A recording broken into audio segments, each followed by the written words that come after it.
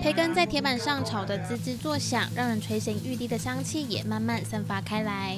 这里面是有培根、花枝、虾仁、香菇、葱这些材料。加上多项新鲜配料拌炒，淋上蛋液，等待几分钟的时间，色香味俱全的日式蔬菜煎饼就热腾腾端上桌了。这样的好味道，不只有顾客大力推荐，就连玉恒里长都要玻璃斋。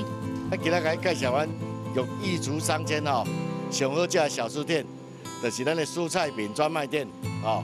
啊，除了蔬菜饼之外，还有炒面、炒饭哦。啊，你来遐食看嘛，这蔬菜饼跟咱无无共，伊的做法完全不一样。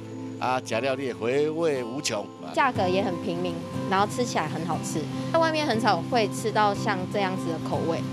这间蔬菜煎饼位在新兴区玉竹商圈内的巷弄里，虽然店面不显眼，却是年轻人的网络热搜美食。老板娘李秀銮表示，经过不断的调整口味，才将日式煎饼与台湾人喜爱的口感融合，获得大家好评。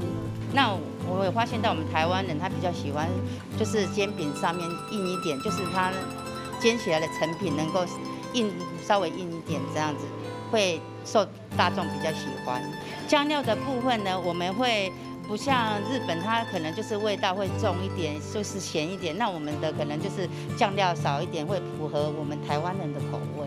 已经经营大概有二十年了，我我们是。呃，巷子这边，因为在这小巷子里面，那我们也不太行销，就是很感谢客人都是会帮我们推荐这样子，那很希望说。大家能够来个品尝，这样用料豪迈不手软的蔬菜煎饼，在地开业已二十余年。老板娘李秀銮说：“看着许多顾客从学生时期吃到为人父母，相当感动。